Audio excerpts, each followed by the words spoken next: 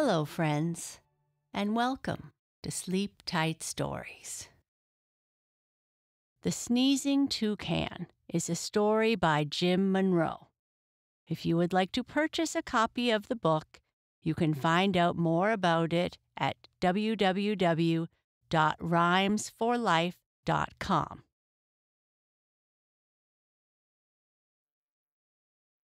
I'd like to say hello to some friends. Hello to May Rose. Hello to Ruby and Tiffany from Texas. Hello to Cash, who is five years old and lives in Snellville, Georgia. And hello to Quinn and Lulu from Bend, Oregon. Thank you so much for supporting us via our premium feed or Patreon. Your support means a lot to us. Have you ever wanted a pet? What kind of pet would you like to have? Today's story is about a little boy who wants a pet, but has to find one that his mom will also like. He goes to the pet store to see what he can find and comes home with the one he hopes his mom will like.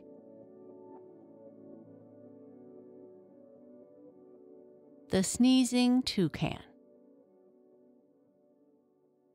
Another Saturday morning, and I was riding my bike, headed to town with my hair in a spike.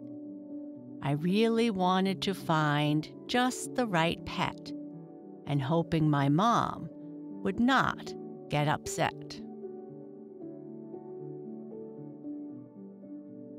She doesn't like snakes or lizards or cats or hamsters or pigs.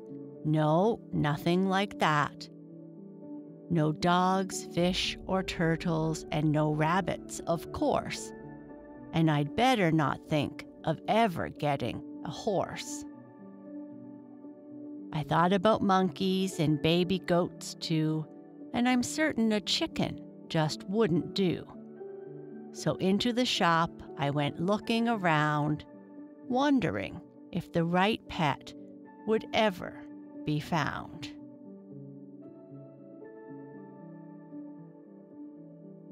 Two puppies were wrestling a shepherd, and collie. There in the tank swam a whole school of mollies.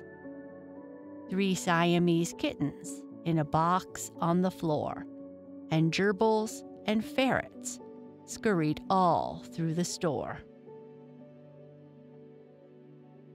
A seven foot python slithered in a large crate.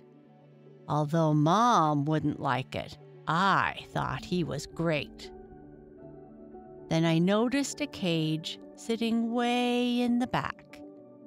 Inside stood a bird whose feathers were black. His neck a bright yellow, his feet a pale blue. His nose painted orange, and red and green too. What a beautiful bird, I said to myself. I wonder why he's back here on the shelf. While I stood there just staring at the gorgeous toucan, I felt a tap on my shoulder from the old pet store man. He said, Son, you don't want that big nosed black bird because he's got a problem. That's really absurd. In fact, he does something that you just won't believe. That big nosed black bird can do nothing but sneeze. Well, I stood there a moment, not sure what to do, when all of a sudden that bird went, Achoo! The man checked his watch. It was a second past ten. He said, In one hour, he will do it again. Hour by hour, that bird just won't stop. So I placed him here, in the back of the shop. I tried every cure from far and from near, but he keeps right on sneezing. It's been over two years. Bottles and bottles of pills, big and small. As far as concoctions, well, I've tried them all. That man rambled on for 30 minutes, I bet, about potions and lotions and trips to the vet. Well, I thought and I thought, and then asked the old man, How much do you want for that sneezing toucan? He's been here a long time, so I'll sell him half price, and the cage will be free. But take my advice at night you will want an earplug or two.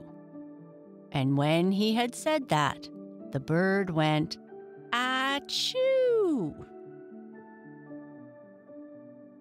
I glanced at the clock that hung over my head.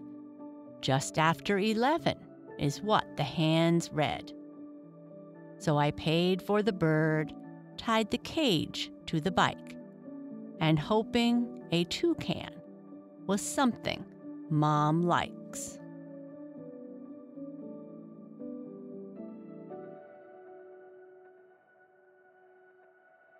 As I pedaled home, my stomach started to flip, and my knuckles turned white from a very tight grip. I walked in the kitchen, set the cage on a chair, and Mom stopped in her tracks and started to stare.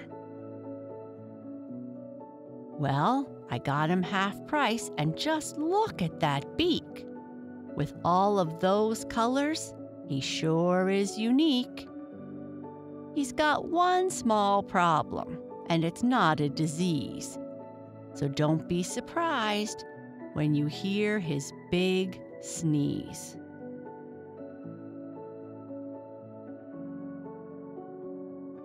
Mom said, Yes, that toucan is one gorgeous bird, but I'm not convinced it's a pet I prefer. But I will be fair and I'll give you three days. And if he can quit sneezing, then I'll let him stay. The grandfather clock started chiming a tune. The toucan sneezed loudly. It was just afternoon. Mom said, Hearing him sneeze can be quite a shock, but it's not as loud as those bongs from the clock. Day number two, and I needed a plan. So I put fruit and veggies inside a large pan. I fed him at breakfast and I fed him at lunch. All through the day, he continued to munch. The toucan ate cherries and carrots and beans, and apples and corn, and two tangerines. I tried melons and grapes and celery and peas, but that bird, like a clock, just continued to sneeze.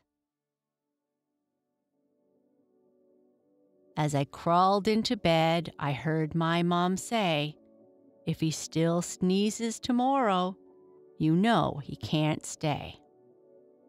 I must leave in the morning. I'll be back afternoon.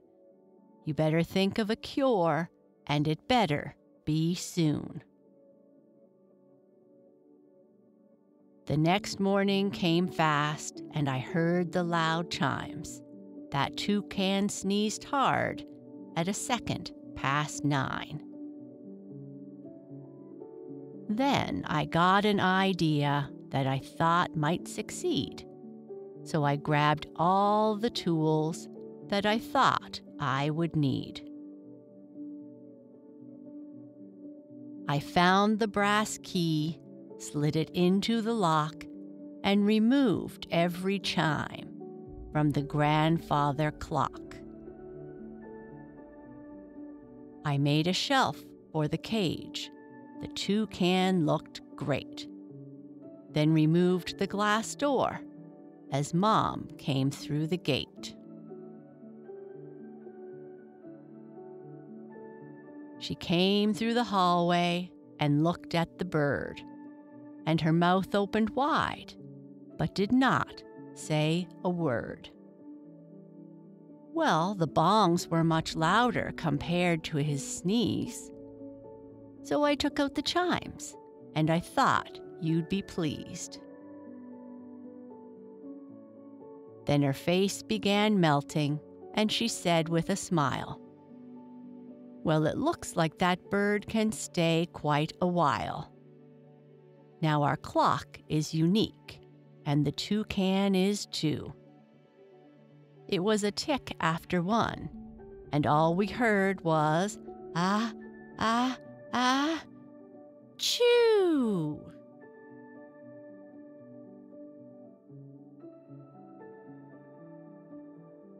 And that's the end of our story. The Sneezing Toucan by Jim Munroe. Good night. Sleep tight.